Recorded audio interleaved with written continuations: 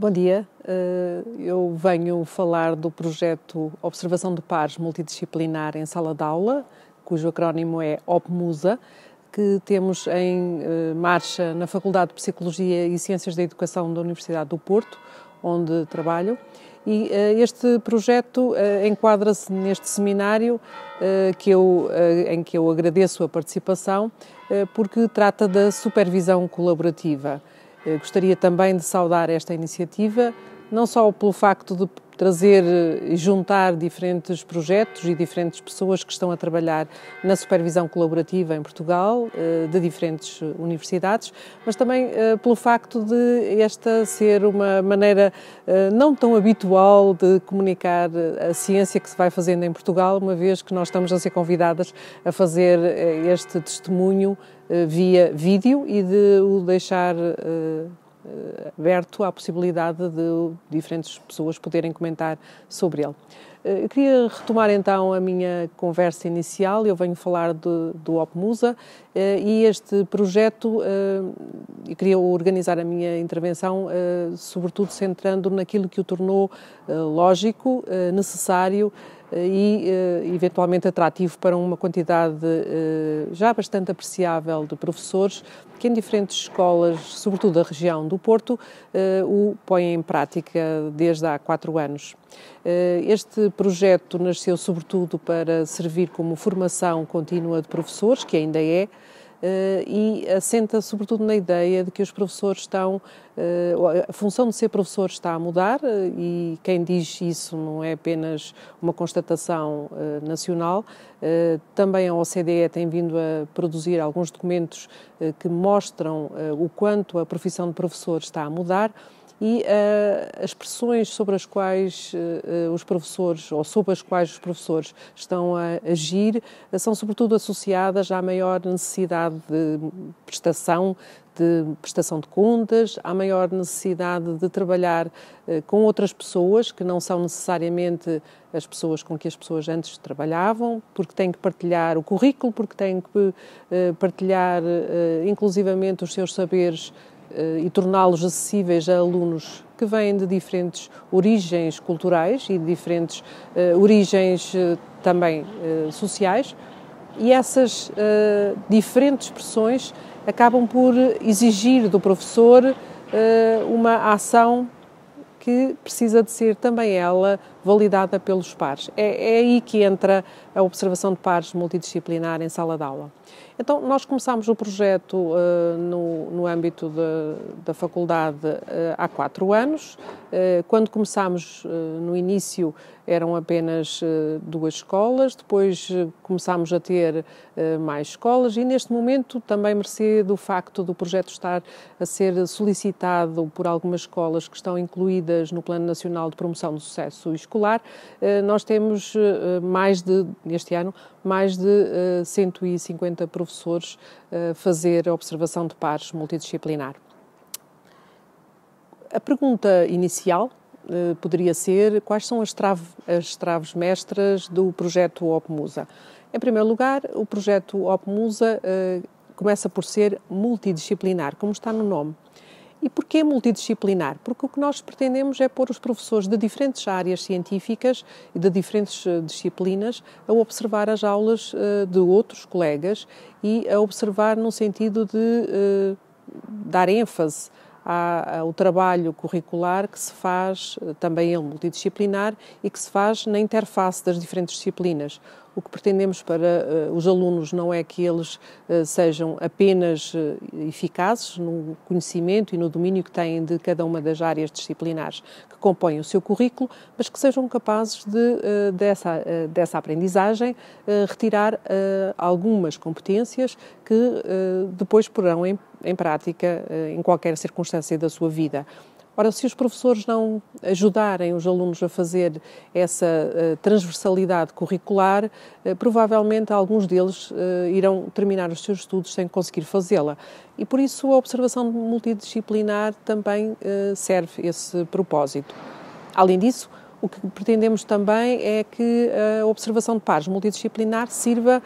como uma forma de melhorar, do ponto de vista pedagógico, as práticas dos professores.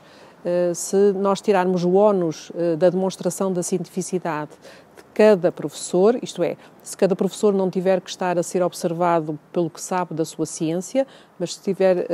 se estiver a ser observado, sobretudo na sua relação com os alunos, isso é, na sua capacidade de comunicar com os alunos e de os fazer aprender e de tornar as suas tarefas de aprendizagem mais eficazes,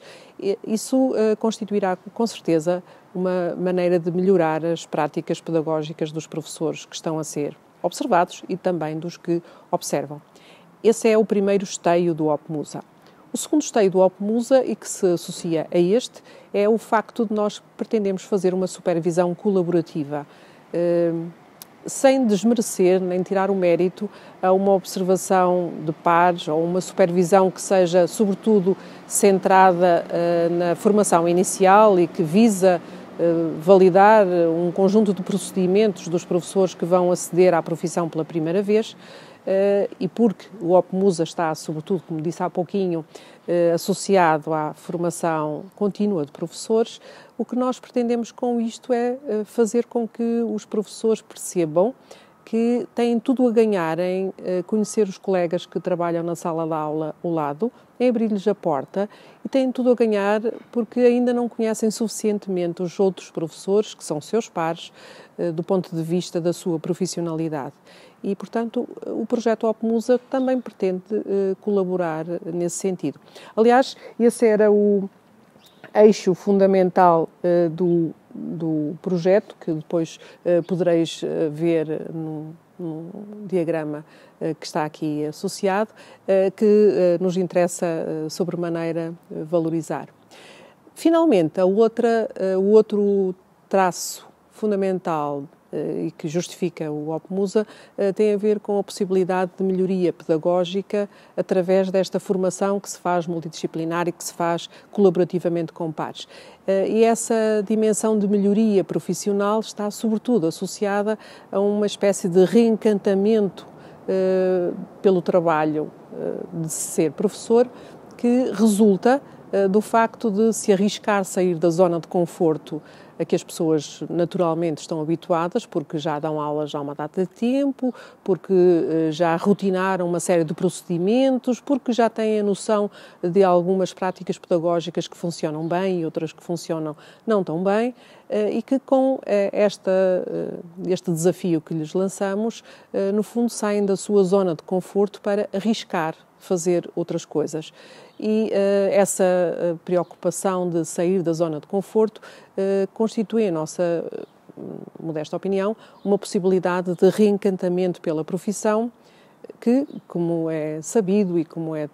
enfim, da comunicação social, também está associada a algum desgaste e a algum cansaço. Vai daí, para além do risco, e do reencantamento, nós apostamos que o reconhecimento profissional que os professores eh, ganham pelo facto de verem as suas aulas observadas pelos seus pares, porque os seus pares descobrem eh, o outro que ainda não tinham tido a oportunidade de observar, eh, pode permitir esse reencantamento eh, também. Uh, e, uh, como é evidente, há aqui outra, outro valor importante, que é o respeito, uh, que resulta ou que está associado também a estes três outros R's. Então, resumindo, o risco, o reconhecimento, o respeito e o reencantamento profissional são os aspectos essenciais que nós associamos a esta dimensão da observação de pares multidisciplinar em sala de aula. A segunda questão que me proponho responder é como é que funciona a observação multidisciplinar eh, de pares em sala de aula, eh, isto é, como é que processualmente o projeto está organizado. Eh, e nós eh, o pomos em marcha nas escolas que nos estão associadas. Em primeiro lugar, eh, eu queria dizer que participar numa observação de pares multidisciplinar em sala de aula é, sobretudo, uma decisão das escolas e, frequentemente, também da direção das escolas, e, em segundo lugar, é uma decisão dos próprios professores que depois vão constituir os grupos de trabalho que nós organizamos em quartetos ou em trios, consoante é mais funcional, mas que corresponde corresponde sempre a uma decisão de, de participação voluntária. Isso significa que nos últimos quatro anos, como tinha dito antes, as escolas nos contactam, nós explicamos, enfim, basicamente em quem consiste o nosso modelo e depois o que acontece é que nós combinamos com as escolas uma primeira formação que serve não só para explicitar o que é que o modelo eh, tem de novo relativamente às práticas, a outras práticas de observação de sala de aula, nomeadamente práticas de observação eh, que estão sobretudo muito associadas à avaliação de desempenho, eh, que não é o nosso propósito. O nosso propósito é utilizar a observação de pares multidisciplinar como uma forma de promover a formação interpares e por isso não há uh, uma avaliação que se transforme numa classificação no final. No final. Mas isto tem um caráter formativo. Isto significa que depois de as pessoas estarem voluntariamente inscritas no processo, nós constituímos os quartetos ou os trios, que na medida do possível são sempre de pessoas diferentes ainda que uh, nós também não obrigamos e não queremos que as pessoas uh, sintam que estão a cometer uma violência contra si próprias, uh, fazendo um quarteto com alguém com o qual não se dão bem ou não querem, pelo menos para já, participar ou partilhar as suas aulas. Uh, o processo começa então com uma, um ateliê, um workshop de formação. Uh, nesse workshop, uh, para além de serem explicitados os aspectos fundamentais do modelo, também são explicitados alguns aspectos fundamentais que estão associados quer ao processo, quer aos conceitos-chave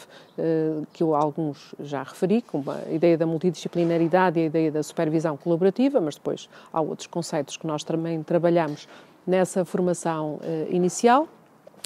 Uh, e depois uh, aproveitamos o workshop para trabalhar os instrumentos de registro uh, de dados e da observação que utilizamos. A esse propósito, queria referir que nós organizamos desde o início um guião,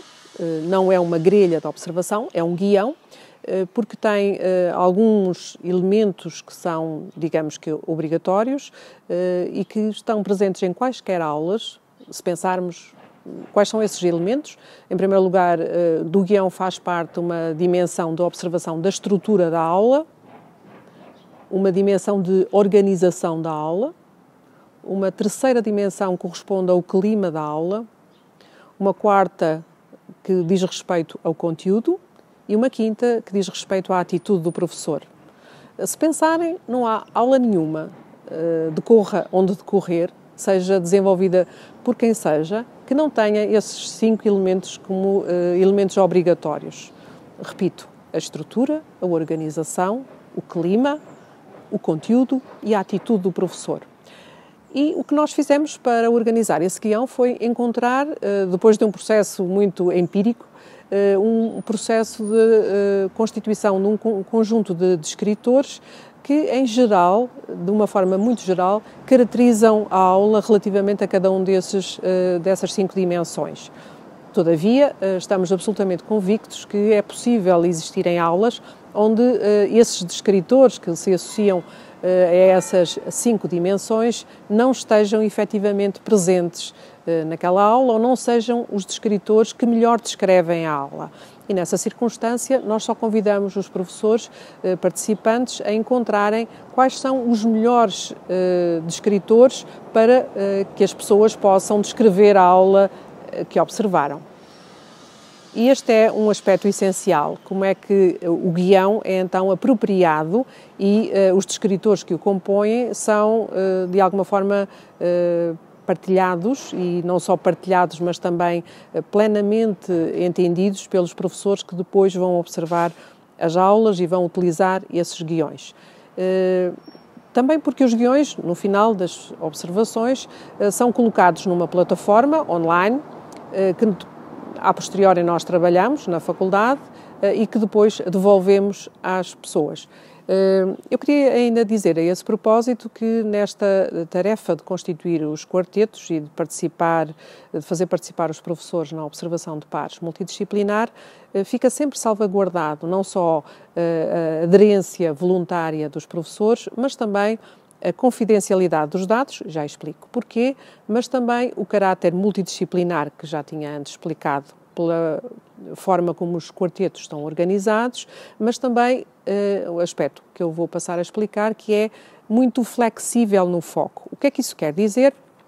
Quer dizer que no mesmo quarteto pode existir um professor que esteja mais interessado em ser observado ou em que as suas aulas a observar uh, estejam, sobretudo, centradas num aspecto muito específico e outros, professores do mesmo quarteto, estejam mais interessados em ser observados noutros aspectos diferentes. Uh, essa flexibilidade no foco uh, garante que cada professor participante possa, de facto, usar a OPMUSA como uma forma de melhoria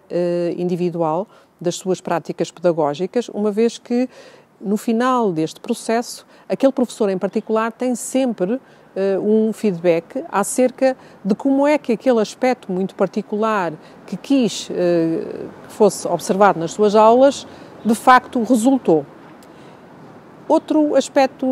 importante do modelo uh, diz respeito ao facto de nós não estarmos muito particularmente interessados ou convidarmos os professores a olhar para os documentos que estão antes, uh, como por exemplo os planos de aula, como por exemplo os, os currícula ou os, os, uh, os programas das disciplinas que os professores têm que trabalhar. Eh, uma vez que nós convidamos os professores a olhar para as aulas dos seus colegas, o que está aqui em causa é que nós pretendemos, fundamentalmente, que as pessoas vejam a aula tal como ela acontece. E é essa perspectiva fenomenológica do tal como a aula acontece e do que efetivamente naquela aula em particular eh, os alunos foram capazes de fazer, os professores foram capazes de colocar os alunos a fazer e a aprender, que nos interessa eh, reter na observação. É por isso que eh, a aula nunca é igual ao plano, pesa embora de os professores com certeza terem sempre um plano para essa aula e de o comunicarem aos seus observadores antes que ela aconteça.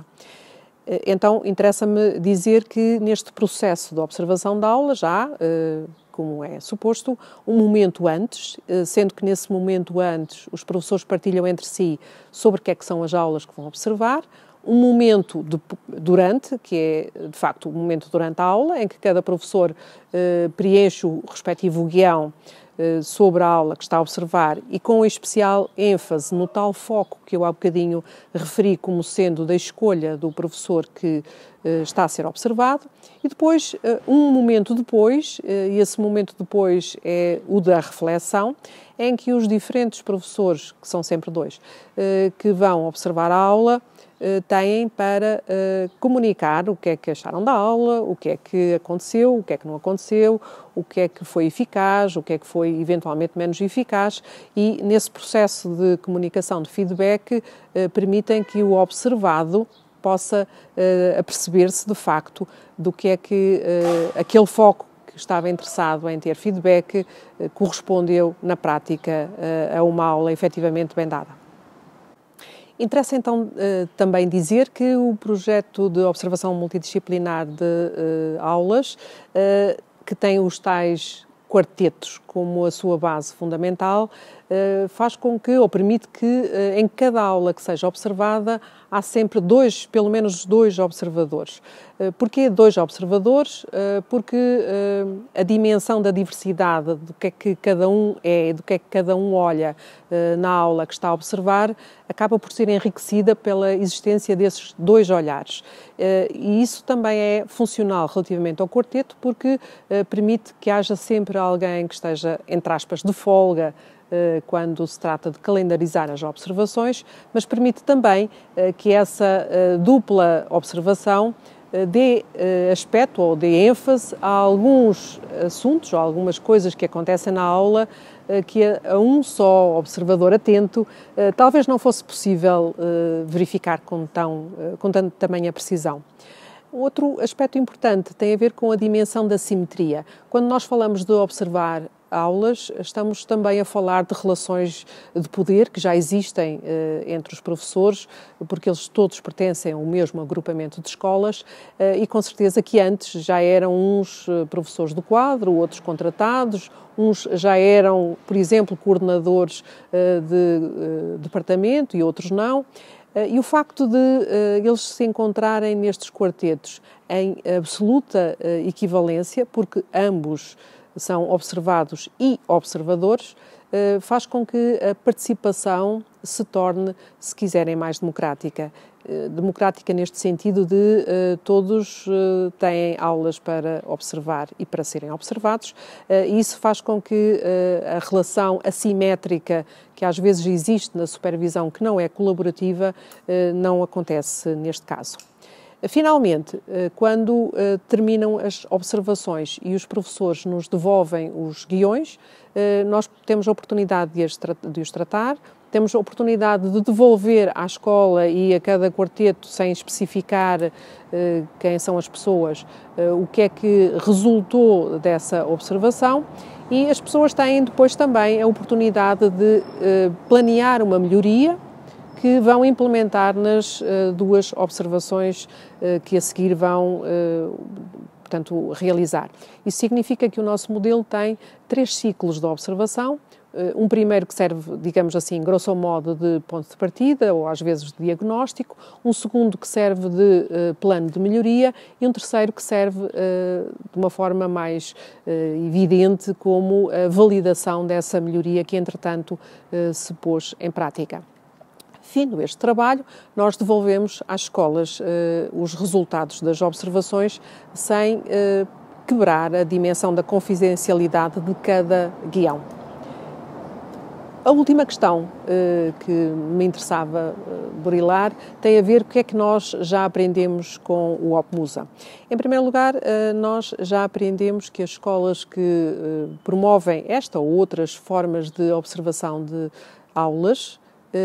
já fizeram uma coisa que é importante, eh, já contribuíram para diminuir a atividade solitária do que é até agora a atividade do professor, eh, que é o professor dentro da sua sala de aula. Este abrir portas a outros olhares eh, é alguma coisa que é um dado, é, um, é, é no fundo uma forma de partilha, uma forma de abrir intimidade do que, do que é ser-se professor, que muitas destas escolas já conseguiram fazer.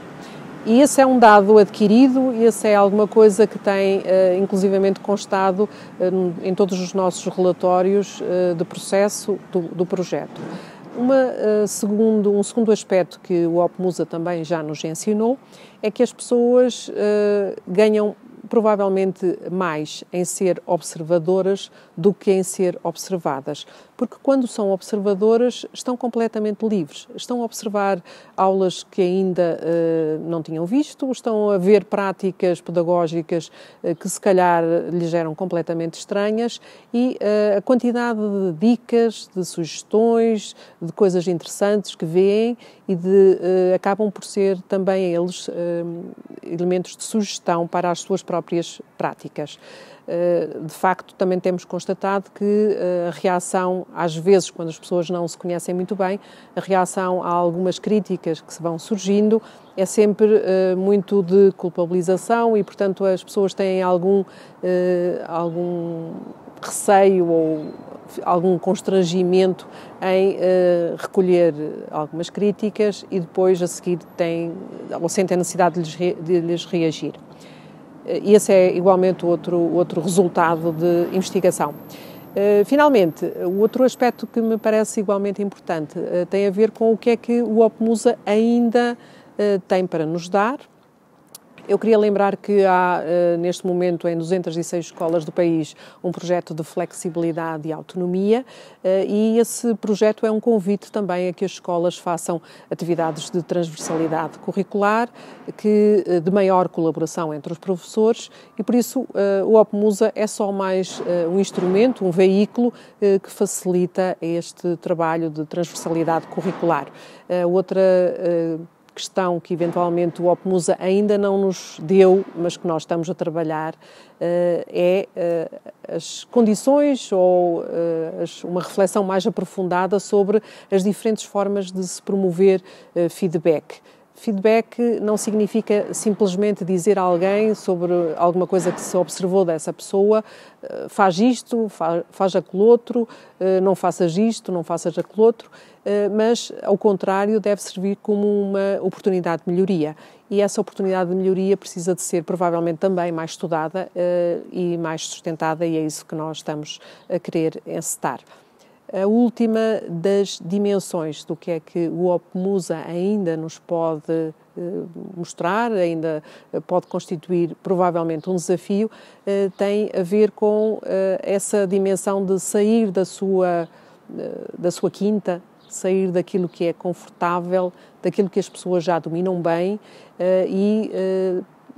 ousar, é mesmo a palavra certa, ousar ser professor de uma outra forma, uh, ousar ser professor noutras condições, provavelmente com outros públicos, uh, e uh, esse trabalho é de facto aquilo que nós estamos também empenhados em descobrir se o OPMUSA pode